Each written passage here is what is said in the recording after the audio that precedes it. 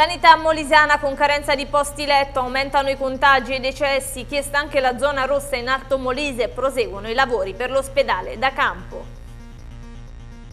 Da venerdì a domenica si vota telematicamente per il rinnovo delle cariche all'ordine dei medici del capoluogo e provincia, nuove linee programmatiche in pandemia. Il più antico edificio di culto a Campobasso, la chiesa di San Giorgio, ha assoluto bisogno di un intervento di restauro a causa dei numerosi problemi. Ottima performance del Campobasso nel derby contro l'Olimpia Agnonese con un meritato 5-2, bene anche per il vasto Girardi che vince 3-0 contro il Porto Sant'Elpidio.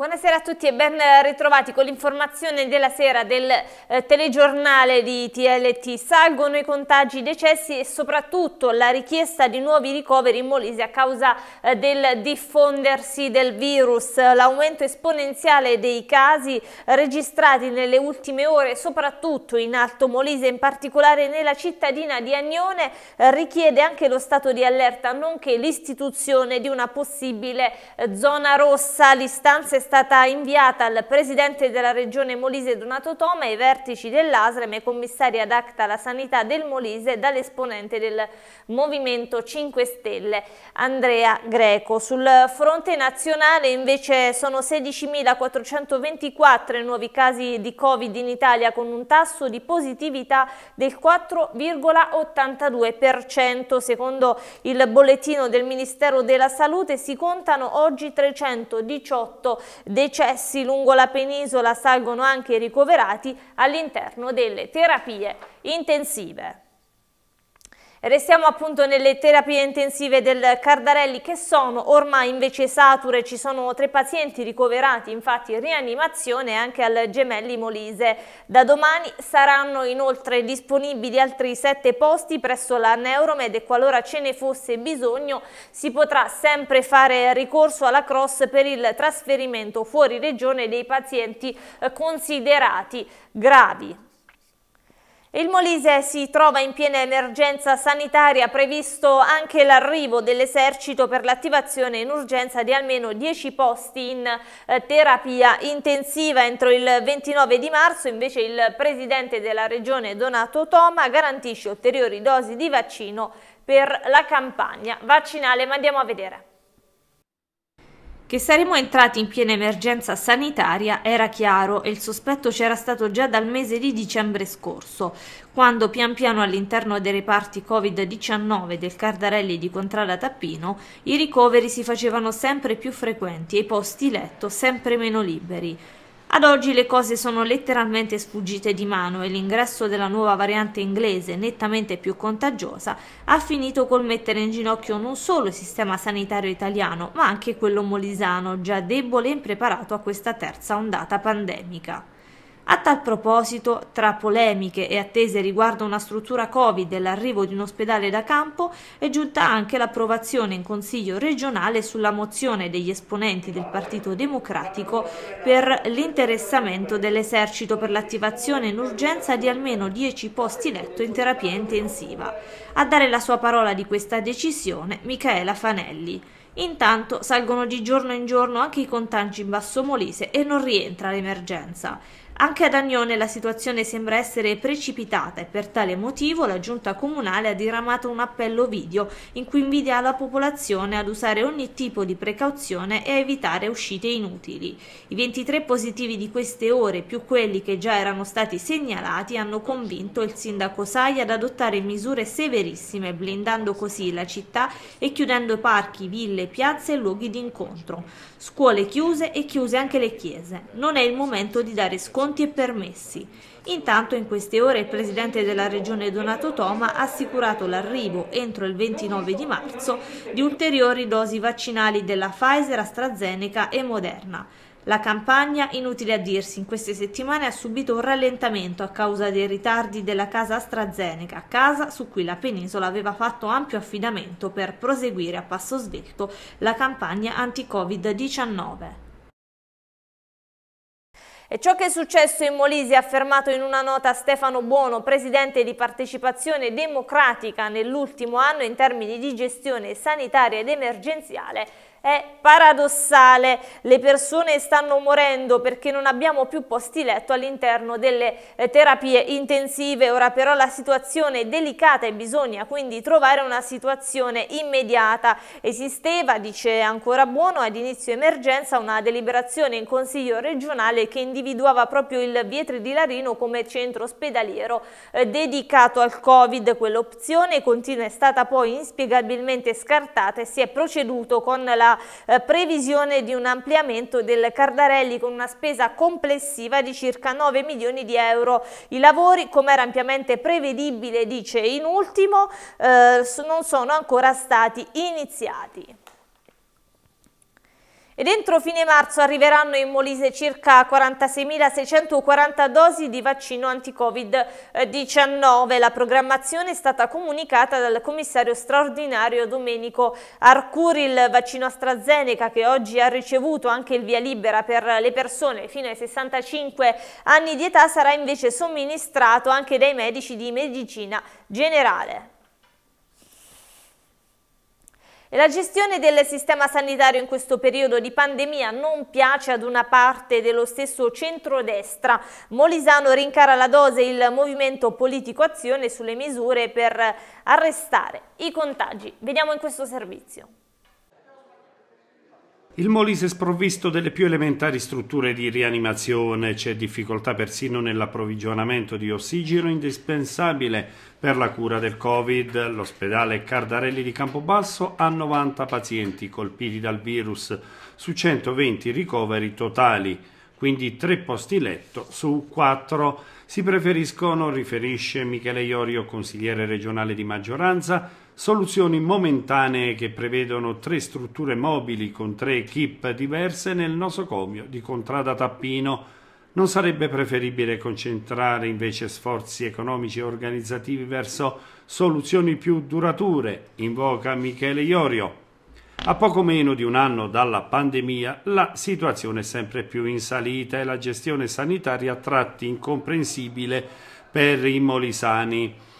Per il movimento politico di azione guidato da Luigi Valente si sarebbe dovuto organizzare la sanità per evitare la saturazione delle terapie intensive, aumentandone adeguatamente il numero. Si sarebbe dovuto creare subito un centro Covid per evitare il collasso degli ospedali, tamponi a tappeto ai cittadini per rilevare il numero dei contagi, con un numero adeguato di strutture pubbliche e private presenti in Molise ripensamenti, contraddizioni, accuse reciproche e rimpalli di responsabilità hanno contraddistinto il 2020 e questo inizio di nuovo anno per il gruppo politico di azione.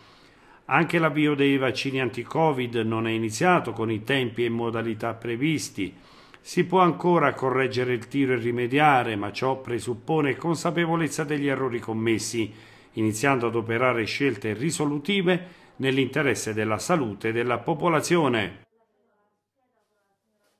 E una lettera indirizzata al Presidente del Consiglio dei Ministri Mario Draghi al Ministero della Salute Roberto Speranza per sollevare l'attenzione sulla situazione sanitaria in Molise. È l'iniziativa portata avanti dai consiglieri comunali del Movimento 5 Stelle a Termoli. Ben 33 paesi in zona rossa esaurite le terapie intensive, ma di riaprire il Vietri chi di dovere non ne vuole proprio eh, sapere se dai controlli dovessero ravvisarsi inadempimenti abbiamo quindi chiesto, si legge in ultimo, al governo di farsi parte attiva nella vicenda.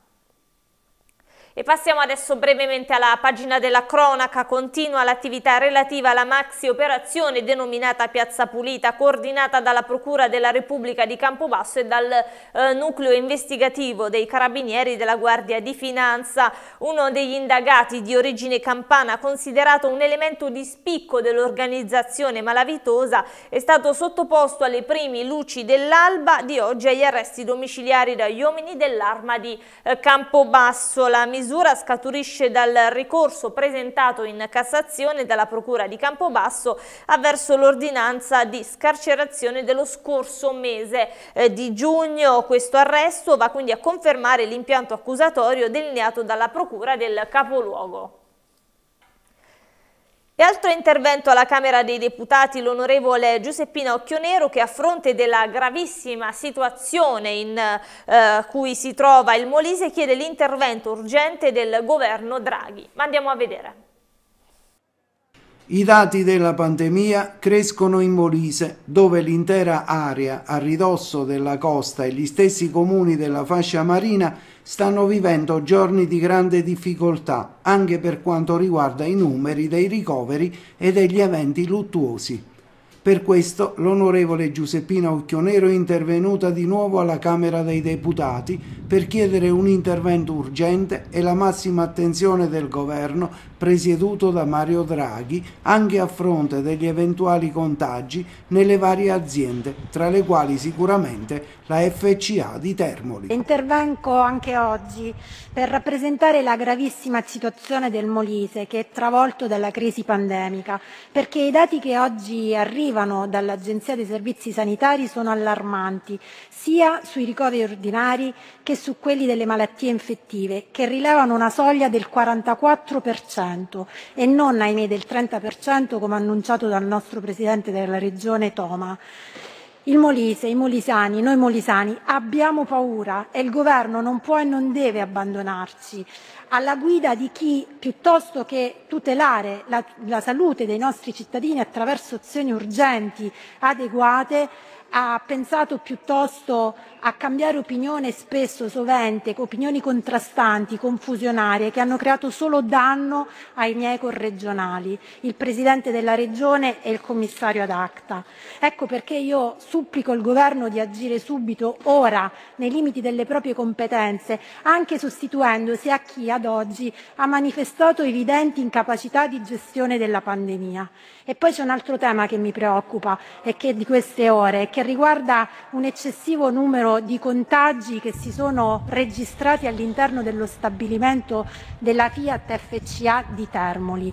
Ecco, è necessario sollevare l'attenzione, la soglia dell'attenzione su questo stabilimento, innalzare il livello di sicurezza e quindi io oggi voglio dare voce a tutti quei lavoratori della Fiat FCA che hanno paura, che sono spaventati perché può scoppiare un nuovo focolaio pericoloso per l'intero Molise ed è giusto che la, la tutela della salute di tutti noi venga garantita. Grazie. In Molise la percentuale dei posti letto occupati dai pazienti Covid-19 in terapia intensiva rispetto al totale di quelli disponibili è pari al 38% e quanto emerge dall'elaborazione dell'Agenzia Nazionale per i Servizi Sanitari regionali sulla base della rilevazione giornaliera aggiornata dal eh, Ministero della Salute. E da venerdì a domenica si vota online per il rinnovo delle cariche all'ordine dei medici di Campobasso e provincia, ma ascoltiamo le linee programmatiche di una delle due liste in competizione, quella chiamata Ippocrate, con il suo candidato a presidente, il dottor Antimo Aiello. Ascoltiamolo. L'Ordine dei Medici di Campobasso e provincia è chiamato al rinnovo delle sue cariche sociali attraverso una votazione tassativamente online che inizierà con l'insediamento del seggio venerdì 26 febbraio dalle ore 16 per continuare sabato e domenica 27 e 28 febbraio dalle 8 alle 20. Abbiamo invitato i candidati alla presidenza di entrambe le liste in competizione per parlare dei loro programmi. Ha accettato soltanto il dottor Antimo Aiello della lista denominata Ippocrate, mentre la dottoressa Carolina De Vincenzo, presidente uscente dell'ordine, ha deciso di declinare l'invito. Finalmente si vota dopo una eh, vicenda piuttosto complessa per quanto riguarda il voto all'ordine di Campobasso. Si vota soltanto online, eh, per fortuna c'è stato l'intervento della Federazione Nazionale che ha messo a disposizione degli iscritti di Campobasso una piattaforma eh, telematica sicura e affidabile. Eh, la nostra lista che si chiama Ippocrate 2020 e faccio un appello a tutti i colleghi iscritti all'ordine prima di tutto a votare, a munirsi dello SPID e a votare la lista Ippocrate 2020 che ha nel suo programma un presupposto fondamentale, quello di eh, ribadire e rivalutare la figura del medico. Il medico come esperto con una dignità professionale importante, libero dai condizionamenti eh, della politica e eh, assoluto protagonista dell'assistenza sanitaria eh, in qualsiasi luogo il medico eh, operi. Eh, questo è un dato fondamentale che poi legato a questo ci sono i temi della sicurezza eh, biologica ma anche psicologica e soprattutto per quanto riguarda i più giovani e le donne. C'è il tema della grande eh, eh necessità di eh, riformare l'EMPAM che è il nostro eh, ente di previdenza, c'è la grande eh, questione che riguarda soprattutto la sburocratizzazione del lavoro del medico. C'è molto lavoro da fare. Vogliamo ribadire con forza che il medico è un protagonista assoluto e in quanto tale deve assumere la dignità che gli compete. E parliamo sempre di emergenza Covid, vista l'evoluzione della diffusione del contagio, con un'ordinanza il sindaco di Torella del Sannio Antonio Lombardi ha stabilito la chiusura delle scuole dell'infanzia, della primaria e della secondaria di primo grado da domani fino al 3 di marzo. E un giovane laureando nelle discipline storiche ed artistiche, Libero Cutrone, segnala invece uno stato di criticità eh, dentro ed attorno alla chiesa di San Giorgio a Campobasso, sollecitando così le istituzioni ad attivarsi per degli interventi. Ma ascoltiamolo. La chiesa di San Giorgio è la più antica tra gli edifici di culto a Campobasso risale al X secolo ed è situata all'inizio di Viale delle Rimembranze, un centinaio di metri per il castello Monforte e la chiesa di Santa Maria Maggiore, detta anche del Monte. Riceviamo la segnalazione di un giovane laureando in discipline storiche ed artistiche, Libero Cutrone, che sottolinea uno stato di forte criticità sia all'interno della Chiesa che porta il nome del santo patrono di Campobasso sia all'esterno e chiede alcuni interventi immediati per fermare ogni degrado prima che sia già tardi. All'interno della chiesa purtroppo c'è uno stato di, de- di degrado a causa proprio dell'umidità, delle infiltrazioni d'acqua, eh, probabilmente dovute anche all'acquedotto che abbiamo qui vicino costruito con la Cassa del Mezzogiorno negli anni 50, quindi Mm, probabilmente sarà quello, probabilmente l'umidità del luogo e chiaramente è una situazione critica eh, che deve essere risolta perché il degrado funziona che man mano peggiora negli anni. La situazione che abbiamo qui dentro è una situazione che va avanti da tempo, da anni e quindi è arrivato il momento di, di fare qualcosa. Inoltre esternamente abbiamo anche una situazione critica a causa di Uh, murales fatti dai writers, quindi uh, abbiamo anche lì una criticità e quei murales vanno assolutamente tolti perché uh, deturpano ecco, la visione del, insomma, della nostra bellissima chiesa romanica di San Giorgio. Un intervento immediato eh, molto probabilmente la soprintendenza che deve intervenire in questo caso perché c'è il vincolo della soprintendenza. Quindi io voglio fare un appello appunto alla soprintendenza eh, di Campobasso affinché eh, inizi in maniera ehm, rapida ecco, questi lavori perché eh, come abbiamo detto il degrado va avanti e non si ferma. Quindi la soprintendenza eh, deve intervenire assolutamente. Questa è una chiesa importante perché appunto conserva all'interno anche gli affreschi eh, tardo medievali ehm, che appunto sono vicini ecco, al, al, luogo tra virgolette incriminato ovvero dove c'è eh, la muffa eh, l'umidità eh, c'è un distacco di intonaco che assolutamente va curato eh, tramite un'indagine approfondita anche dal punto di vista scientifico perché eh, con un'apposita strumentazione eh, quindi bisogna assolutamente intervenire per preservare il nostro gioiello romanico.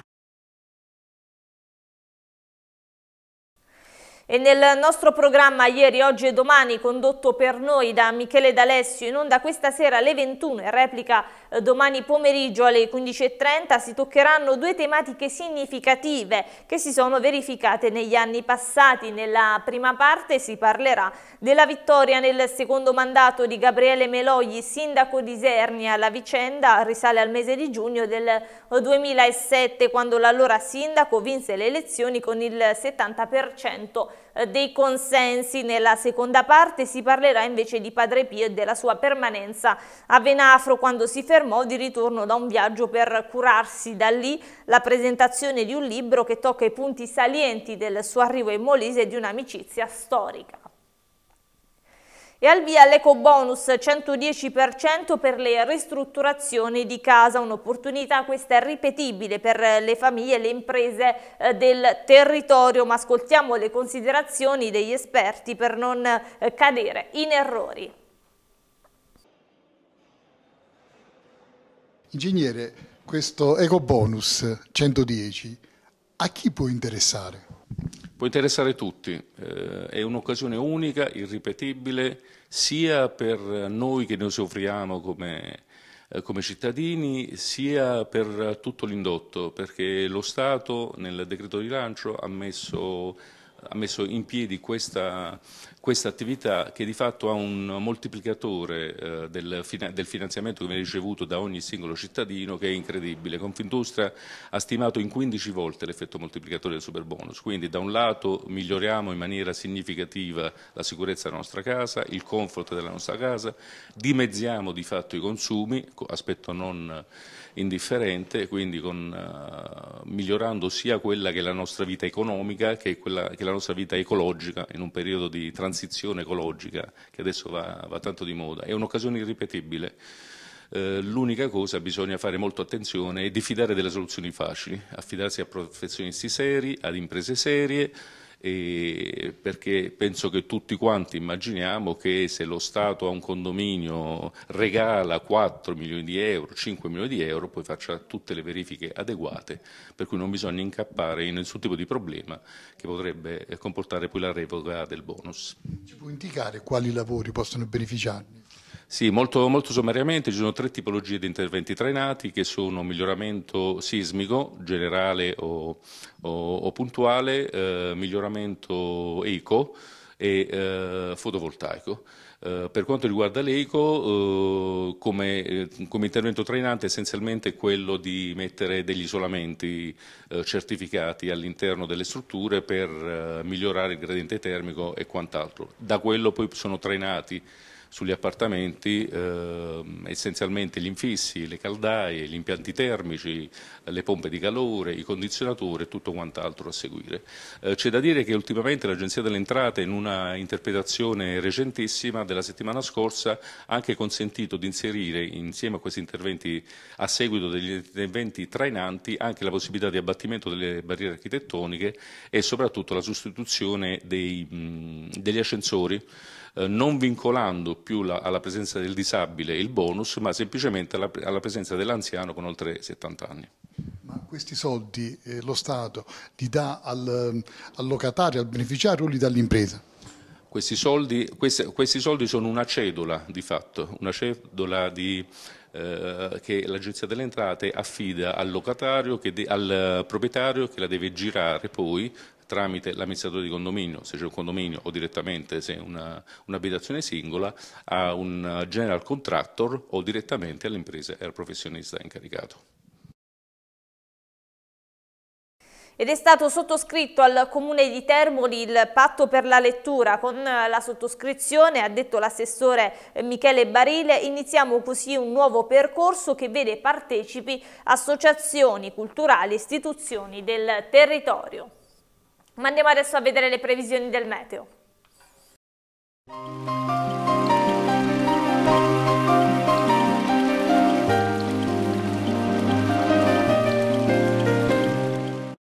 La gamma commerciale, tutta l'energia che ti serve, specialisti delle batterie e degli accumulatori e in Viale Olanda nella zona industriale di San Salvo.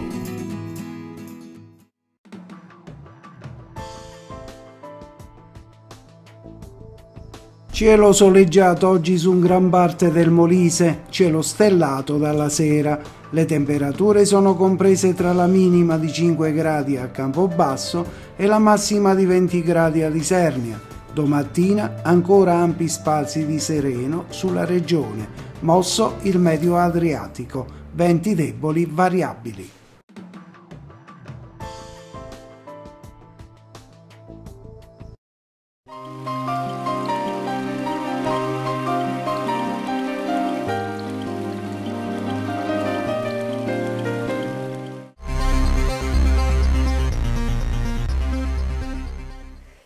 Girone F il Campobasso si aggiudica il derby molisano battendo in trasferta l'Olimpia Agnonese per 5 eh, a 2, vittoria esterna anche per il Vasto Girardi sul campo del Porto Sant'Elpidio, ma andiamo a vedere i risultati e la classifica aggiornata.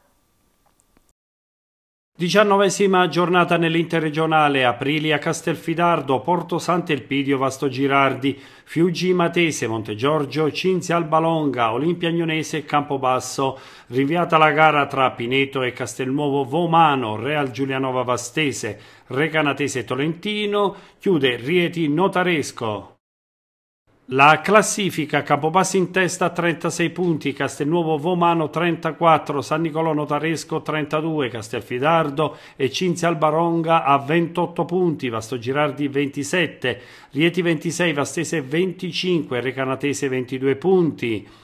Aprilia e Tolentino a 21, Montegiorgio 20, Fiuggi 19, Pineto e Matese a 17 punti, Chiudono il Giulianova a 9 punti, Olimpia Agnonese e Porto Sant'Elpidio a quota 3. Il Campobasso supera con autorità l'Olimpia Agnonese e si conferma sempre più in vetta nel calcio della Serie D, partita condotta in avanti sin dai primi minuti di gioco. Vediamo. Turno infrasettimanale allo stadio Civitelle, testa coda tra l'ultima della classe, l'Olimpia, intenzionata a lasciare quanto prima i bassi fondi del girone, e la capolista Campobasso. Cudini attua per l'occasione un ampio turnover. Nei Granata si rivede l'ex capitano croato Pesic in cabina di regia assieme a Di Lollo.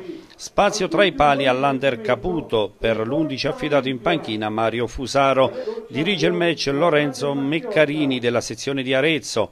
Per il derby Granata di casa scelgono il completo bianco, la classica blusa rosso-blu per la formazione viaggiante. Pronti via, i lupi mettono in casso la prima marcatura, l'ex Vittorio Esposito apre da sinistra a destra con un perfetto arcobaleno catapultato sulla testa di Vitali che incrocia l'angolo e fa secco Caputo. Non sono trascorsi neanche tre giri di lancette. 4-3-3 speculare i sistemi adottati da entrambe le panchine. Per il campo basso l'Adu e il metronomo Esposito lo spauracchio dal quale partono gli assist più interessanti come al quarto d'ora. Il numero 10 inventa per Van Zan, lo stantuffo mancino arriva sul fondo. A rimorchio Vitali anticipa i difensori centrali e fissa il risultato sullo 0 a 2. Rossetti scarica in porta dopo un travolgente contropiede dei suoi, Caputo ci mette i guantoni e spedisce in angolo. In campo aperto gli ospiti fanno valere le qualità tecniche e la superiorità atletica. L'Agnonese stordita ma non abbattuta, i meccanismi dei rossoblù sono però oleati a dovere. Rossetti scardina il cuoio dai piedi di Pecic e si invola verso l'area avversaria. Candellori gli subentra nella trama e timbra il palo. Caputo si salva al ventisettesimo per la posizione irregolare del numero 8 ospite. Proiezioni in avanti per l'Olimpia dai piedi di Ferri, l'esterno d'attacco Mancino. Il tiro sibila dal basso verso l'alto, ma Racichini controlla con lo sguardo. Vanzan per Rossetti dopo il velo di Candellori nel 4 contro 2 il centravanti del campo basso è egoista. La conclusione si adagia tra le braccia di Caputo. 37 ripartenza di classe della capolista. Candellori prende palla, si accentra e scarica all'angolo. Caputo è in ritardo e viene infilato per la terza volta. Sesta rete per il centrocampista in questo torneo. Palla filtrante in area rosso-blu si avventa l'argentino Abercon. L'estremo Raccichini tiene inviolata la sua porta prima del rientro negli spogliatoi. Netta la supremazia degli ospiti in lungo e largo. Il risultato al termine dei primi 45 minuti non fa una grinza. Buono prende il posto di Ferri nei locali nel secondo tempo. Proprio il neoentrato spinge alle spalle ingenuamente Esposito in uscita dai 16 metri. Il fantasista di San Martino si presenta sul dischetto e consegna ai suoi il 4 a 0. Nulla da fare per Caputo, costretto ad inchinarsi ancora una volta. Nei rossoblù si infortuna Martino, gli subentra Fabriani sulla corsia destra. Ottavo minuto dall'angolo di Bottalico si impappina alla retroguardia di mister Cudini. Raccichini non riesce ad evitare che la palla varchi la linea bianca sul tocco del compagno di reparto Van Zan. L'Olimpia riduce le distanze. La migliore trama dell'Agnonese porta in rete l'attaccante Sosa. I bianchi di casa fanno girare palla molto velocemente. Raccichini deve inchinarsi per la seconda volta in pochi minuti. Applausi dalle gradinate per la reazione d'orgoglio. Il Campobasso non si scompone e trova la quinta rete ancora con Rossetti, il centravanti, ma sono evidenti le amnesie difensive dei padroni di casa. La capolista riscava il solco e passa sul 5 a 2. Torre in area di Nicolopoulos, il difensore centrale Granata, buono scarica al volo verso la porta, il fischietto Meccarini è coperto e lascia correre il possibile fallo di mano. L'Olimpia gioca senza più nulla da perdere. Abercon disegna una parabola all'angolo da calcio piazzato. Raccichini non è da meno. Applausi. La gara non ha più nulla da chiedere. Campobasso sempre più da solo in vetta al raggruppamento F. Per i Granata una sconfitta pesante nei numeri, la sesta consecutiva, ma con qualche sprazzo di reazione dignitosa al cospetto della prima della classe. E arriverà a Termoli il prossimo 14 maggio la settima tappa del Giro d'Italia. L'annuncio ufficiale si è avuto nella giornata di oggi al termine della presentazione della manifestazione ciclistica simbolo dell'Italia. La Carovana Rosa tornerà a Termoli così dopo dieci anni di assenza. Il settore giovanile della Federcalcio Molise ha coinvolto gli istituti scolastici promuovendo il progetto Valori in rete senza frontiere. 17 sono le scuole che hanno aderito e tra l'altro in fase di preparazione in collaborazione con l'AIA il progetto arbitro scolastico di calcio a 11 le iscrizioni sono attualmente in corso. E con quest'ultima notizia è tutto, si conclude qui l'edizione del telegiornale della sera, come sempre vi ringrazio e vi auguro un buon proseguimento, arrivederci.